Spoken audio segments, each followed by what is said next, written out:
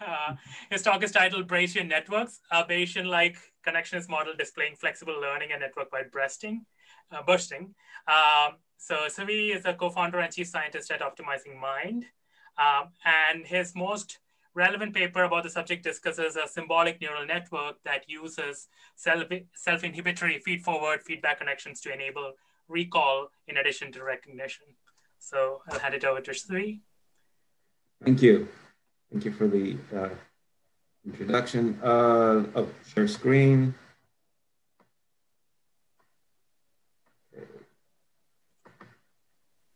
Okay. Um, all right. Um, so thank you. Uh, so the predominant uh, recognition and learning models of the brain are either Bayesian network, which are actually the most brain-like because they have a logic type of reasoning through uh, priming or preferences determined by priors, or and also likelihoods, um, which is like the expectation of what the network is looking for. But the problem with this type of model is it's not connectionist. You must calculate distributions. And what happens is you cannot really build this model with theoretical neurons, and it's not scalable to large uh, networks. And the other models are neural networks uh, or feed-forward type neural networks, where basically you're solving the recognition problem by taking the input and multiplying it by the weights. And this is actually much more scalable, but there's no brain-like priming or expectation.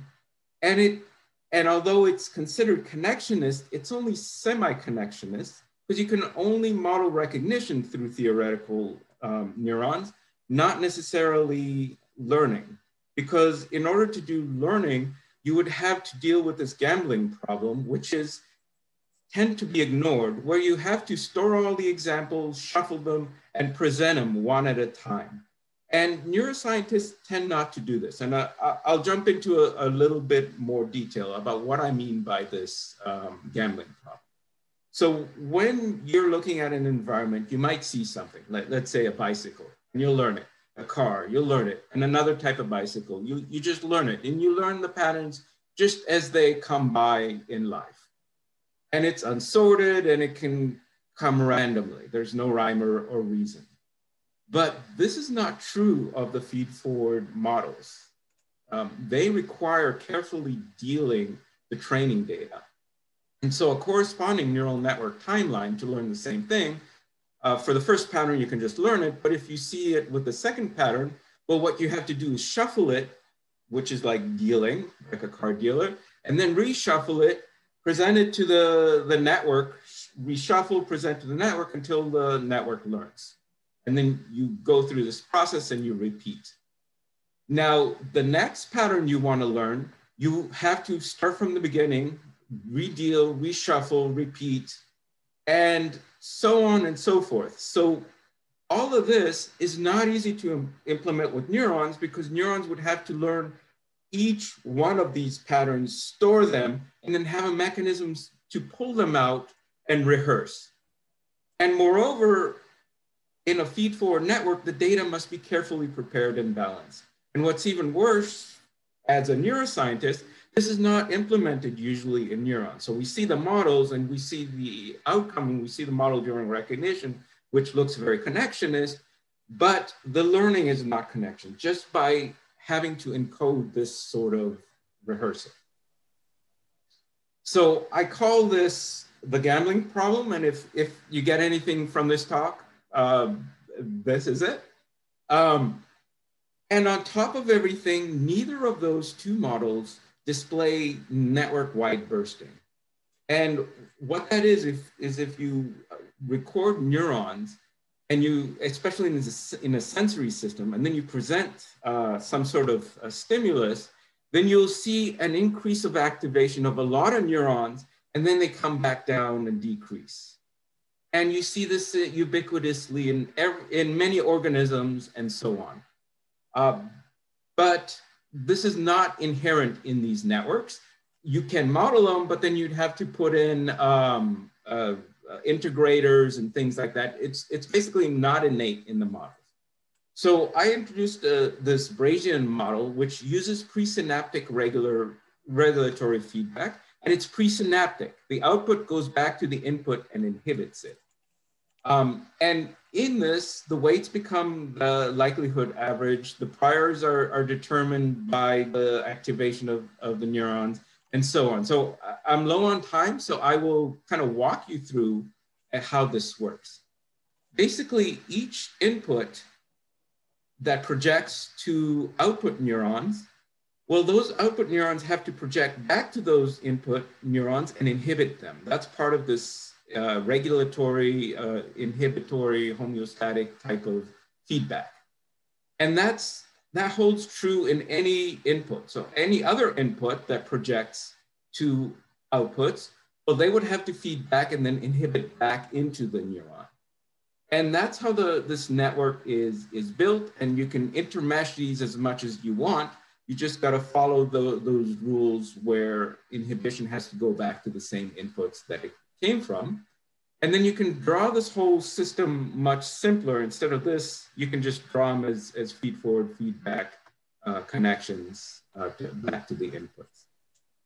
So how does this whole system work? What I will do is I'm going to compare uh, feed forward and, and the system. And so here I'm drawing just simple matrices with two inputs and two outputs. So there's going to be two output nodes, two input nodes. First, I will just show feed forward. Uh, so before I do that, I, I want to learn, let's say, that neuron YA is going to be active when X1 is 1. Um, and neuron YB is going to be active uh, when, when X1 and X2 are 1. Um, and so these are actually the likelihood patterns. So in, a, in the Braisian network, what you can do is just basically put that into the weights. Um, basically, this is your expectation. So you just put that into weights and that's all that the model needs to learn. It then estimates the distribution. Um, so the learning is simple. Now, if you wanted to do the same thing with feed forward networks, you would have to iterate through these type of examples until you got the feed forward weights, which are these. And now you would uh, uh, run, run that. Uh, so let's draw first for the example for the feed forward. Well, feed forward is just feed forward weights. So you put them here, and then you can put in a test of one of these patterns, uh, and you can look at the plot of the dynamics. Uh, and I'm not gonna draw ones and zeros. I'll just do yellow for active, black inactive, and any sort of gray in the middle is some sort of value. I present this test as a stimulus. I do my y equal wx, and I, I get the right answer uh, here. But this is the, the dynamics. They're, they're not really dynamics. It's just you multiply it through. And then you put the other input you expect and you get uh, the same uh, thing. Now let's do the Braisian networks. Um, you have the the same outputs and the same inputs, but now you have this intermediate uh, inhibition, which roughly is like an error. And so now let's draw the weights. So the weights are these uh, likelihoods. So the only key here, I'm not gonna draw zero when it's zero, uh, but if there's a weight going from input to output, there has to be a weight going from output to input and inhibiting back the same input. If there's two going up, there has to be two coming down, and that's it. That, that's, that's your network. Now it's iterative during recognition, and this is a little counterintuitive. So we're doing the iterations during recognition to find the activations, not to learn the weights. The weights are the likelihood. So information goes up, uh, forward, then down, back, forward, back, forward. And this is the dynamics that you get out of this network. So if you put in uh, the, the test stimulus and it remains constant, initially both the inputs come up and this is not what's uh, expected. So then both outputs become active and this in a sense causes a burst. Then information goes back down, starts inhibiting the, new, the inputs. Now this input has twice as much inhibition than, than this one. So it gets dialed down and this is how the, the neurons become separated. So that input gets inhibited, but now in, in the feed-forward pass, um, this neuron is more affected by this input than this neuron, so they start separating in activation. And so then the dynamics start separating out, and this process continues iteratively, and the dynamics continue separating out, separating out, until you get uh, the, the same outputs that you would have gotten with the feed-forward networks, but you used the likelihood and you didn't have to go through any of this uh, rehearsal during learning and learning becomes much simpler. Uh, and I'm going to show you a demonstration of that. What I'm going to do is take the iris data set because it's super simple. There are four types of inputs and three types of outputs, uh, petals of a flower. Um, so what I do is I train on data from only two of the flowers. I just designate two nodes take all the data for those two flowers and I train them and I and then I test the network and I get um, and it's accurate.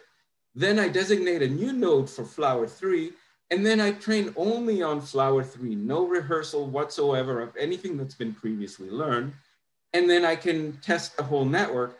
And it's exactly the same as if I had randomized the, the, the inputs, presented all the, the flowers, rehearsed or not rehearsed. So this system allows much more flexible learning without that uh, pesky rehearsal. And so this network shows this um, network-wide bursting. Here's another example. I trained a network on MNIST, and here I put in um, the dynamics uh, of recognizing, I put in the, the digit one, and I look at the dynamics of the circuit when it's going to recognize digit one. And you see most of the digits burst for a little bit and then they come back down, but then only the one that uh, remains active uh, is the one that, that, that end, ends up with the output. So in a big picture, um, in the brain, well, you don't know what, what's the mechanism of recognition, but it's connectionist, it's got priors, likelihoods, don't know what it's doing with the distributions, but it's pretty easy to learn and learn in a modular way where you can add a new, uh, add a new idea at any point without having to rehearse old one. And it shows the network wide bursting uh, inherently. Now the Bayesian network, so what I've compared is the Bayesian network, the feed-forward network, and the Braisian network. Now the Bayesian is not connectionist, um, and the neural network is half connectionist because you can't really uh, build it up uh, with neurons for the rehearsal very easily. Uh, and the Braisian doesn't need that rehearsal. So it's more, um, uh, it, it's more connectionist. Um, the Bayesian allows you priors, the neural network, the priors are, in, are embedded within the rehearsal of the training. So you don't really have access to them. They're there, but but you don't have access. And the Braisian network, you can slightly modify the activation of the neurons, and that's like um, putting a prior. And then likelihoods, um, Bayesian networks have them, neural networks don't, um, and but the Braisian does. And the way distributions are taken care of in the Bayesian network, you have to explicitly calculate them. In the neural network, they're set by the rehearsal. And in the Braisian network, the distributions are estimated during recognition when you have the pattern that you want to recognize and you have the knowledge of all the other patterns that you've learned before, then it takes those with the feed forward feedback, estimates which ones should have the priority, which ones match the best.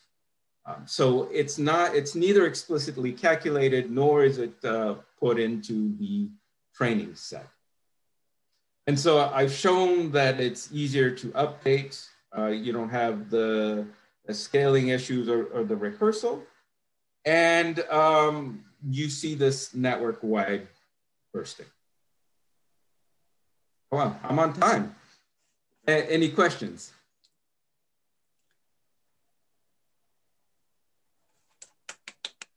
Thank you, Tsvi. That was great. Uh, I feel like, I mean, as I was going through your paper, I didn't quite get a handle on how Braisian networks were a step better than feed forward or feedback networks by themselves, but I think I get a really good idea. There are no questions from the attendees yet, but I did want to ask a specific question. In the network, how dense do the inhibitory connections uh, need to be? Like, do, are they fully interconnected? Do they need to be? Um, no, they're as dense as the feed forward connection because there's always symmetry. So if you've got, you know, a, a, a big tree going out, it has to come, come back in. Uh, I've done uh, tests on scalability where I've basically made, you know, huge flat networks, more than you would in the feed forward network. And it actually is able to deal with the, these huge networks better because it doesn't need those rehearsal um, process. So more inputs don't kind of inhibit the, all the adjusting of the and sending back the error signals and so on. And the, the other question I wanted to ask is there are uh, networks of the brain that are also uh, hypothesized to con consist of mostly inhibitory synapses, inhibitory recurrent synapses. Uh, and so have you, do you have any idea or are you planning to extend this to uh, testing on uh, actual neural networks? Well, so my theory is that, so, so in this network, there's as many inhibitory connections as excitatory connections, right? It, it, it has to be. So I think that's already more realistic in some sense in Absolutely. the uh, uh, networks.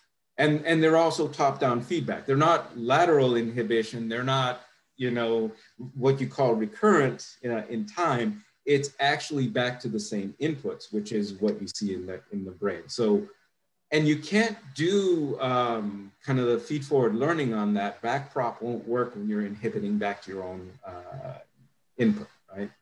And so this is completely, completely you know, different you're saying that it's already a lot closer to what the brain actually does rather than what an artificial neural network. Yeah. So the fact that you see this bursting, for example, uh, where the network, when it's not expecting a signal and it gets something that it's not expecting, it kind of jumps up and back down. You don't see that in the in the feed forward uh, network. And I, I, also thought this talk will be um, shorter. You also see some um, other phenomena which are more cognitive like, which speaks more to the brain, uh, like difficulty with similarity. So if you're trying to do a search between two very similar things, it's harder than if they're separate. And you see this in this network because if they're if things are similar, the inhibition goes to the same place. And so it's harder to, to gather the activation. While if they're different, uh, if, uh, if they're more orthogonal, then uh, they're more independent and faster and so on. Uh, we have one question from the audience. Um, I was wondering how scalable is it in direction for a more complex cognitive task? This is from Kiribel Danieli. Sure. Um, well, I can, let's see if I've got the slides for, for my, uh, oh no, I don't. Of course I don't. Um, let me open up. Uh, just give me a sec. Uh, so I will show you uh, my scalability uh, uh, uh tests. Um, I believe it's this one. Let's see. Hopefully I got all of that. I cannot find it. If you can just mention it, that should be okay. to the audience, we are playing a little fast and loose with time because we don't have seem to have the the third speaker. That's why yeah. All right. So so here I've done um, basically I, have taken uh, a, just a crappy computer um, and what I've done is I've generated random data and I increased the number of nodes and the number of input features. So this is the number of inputs, right? And so uh, all I'm trying to do is see how scalable it is. Um, and so, you know, the matrix size is just multiplying the number of nodes by the number of inputs. And I, I used, I did this a while ago, but I, I was trying to emulate like what you can do on a cell phone, let's say. Um, and so I, I, compared support vector machines um, where I ran out of memory as soon as I got like a thousand inputs and, and 500 outputs. Um, while um, the fastest way I, I, could figure out how to do a feed forward learning, I ran out of memory at about uh, 10,000 inputs with uh, uh 2,000 outputs. Um, but when I did it with this, I could go all the way up to 120 um, before um, before it stopped.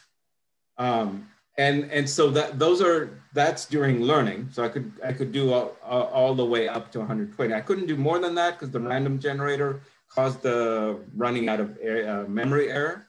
Um, and then I compared during recognition because during recognition this method has to go back and forth and iterate. So I wanted to give an indication of how fast is this uh, iteration. So here you have the computational cost per test for the feed forward networks. Oh, I'm um, sorry, we're not, I don't think we're seeing your screen. Oh no.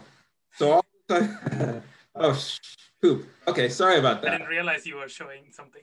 Oh, yeah, I was. I have all this, the, uh, all right, here, let, let, me share my screen. Sorry about that. Uh, how do I share it? Okay, uh, share my screen again. So this is what I was showing. Um, thank you for letting me know. Basically, I've set up a chart of the number of outputs and the number of inputs, and I, I just increased those um, uh, as I go along, and the matrix size is just kind of multiplying these two together. And I want to see how scalable this is during learning. Uh, and I used a pretty crappy computer, um, but the point was to see, say, in a cell phone, how much you can do. Um, and I did support vector machines and it ran out of memory out of, at, um, this is computing time. Uh, it ran out and it ran out of memory, uh, you know, before I got to 500 uh, uh, on here, uh, 500,000. Then um, I, I did the fastest feed, fastest feed forward uh, learning I could and it ran out of memory at 20 million here. Um, and then I did um, the Braisian network until 120,000.